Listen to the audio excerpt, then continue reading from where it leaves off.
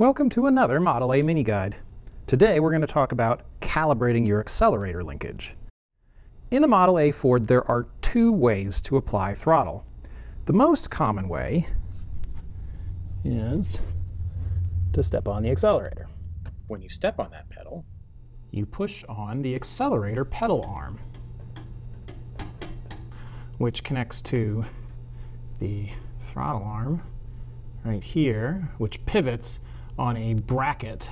Can't really see, but it's attached right back there, mounted to the back of the engine block, which comes out here and pushes on the carburetor rod. That's carburetor rod, which then pushes on the carburetor throttle lever, which opens the butterfly valve right in here, and that makes the car go put, put, put down the road. But there is another way, which typically is only used when starting the engine, and that's the throttle control rod.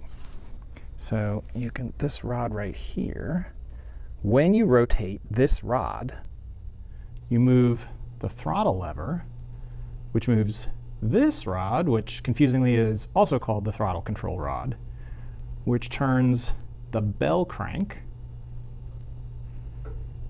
which pushes on the accelerator pedal arm. So the bell crank is this weirdly shaped pivoting thing right here. So the bell crank pushes on the accelerator pedal arm, which then connects to the throttle arm, and anyway, it's exactly the same after that. The point is there are a lot of connection points between you applying more throttle and the throttle actually opening. If this linkage is poorly calibrated, then you can get results like you move the hand throttle, nothing happens, or you floor the accelerator and nothing happens, or at least not what you thought was going to happen. So how do you calibrate all these connection points? The first thing that you want to start with calibrating is the throttle shaft stop screw. That's right here. So this is a Zenith carburetor. Got it off the car here. Um, the you your throttle shaft here. This is the throttle shaft lever, this thing that's pivoting. And then right here, this is the throttle shaft stop screw, or the throttle stop, it's also called. So this is a screw that sets the minimum opening of the throttle valve. Uh, so as you can see, as you screw it out or in against this stop, it changes the position of the butterfly valve. So this is the butterfly valve right here, controls the throttle.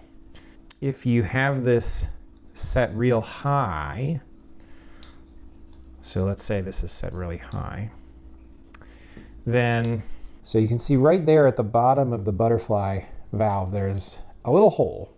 That hole connects through here. Here's the uh, idler, the idle set screw.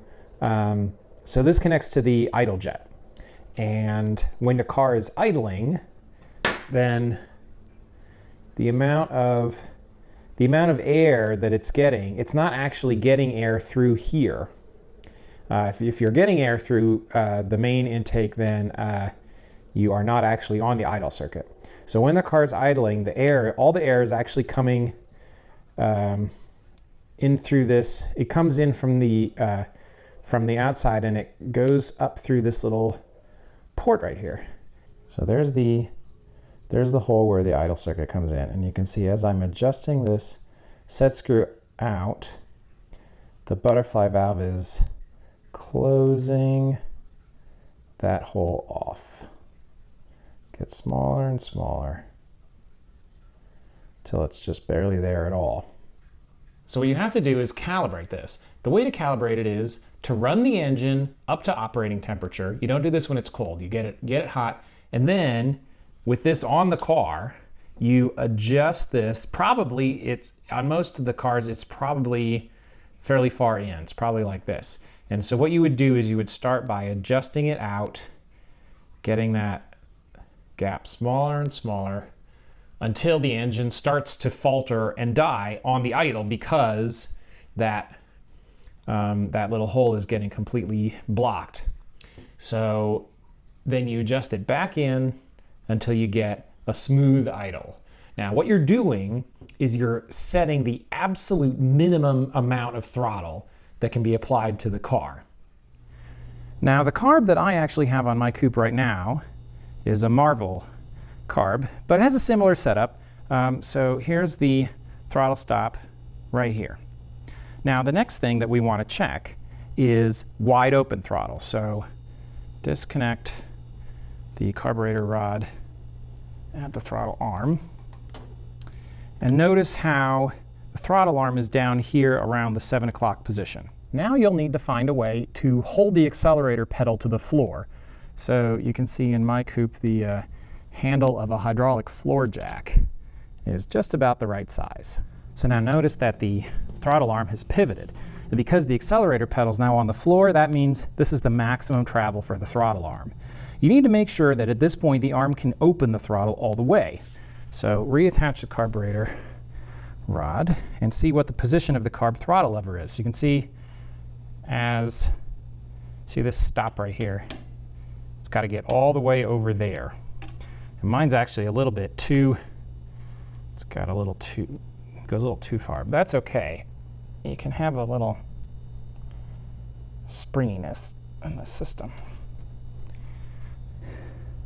So make sure you get all the way, when this is connected, you want to be all the way against the stop.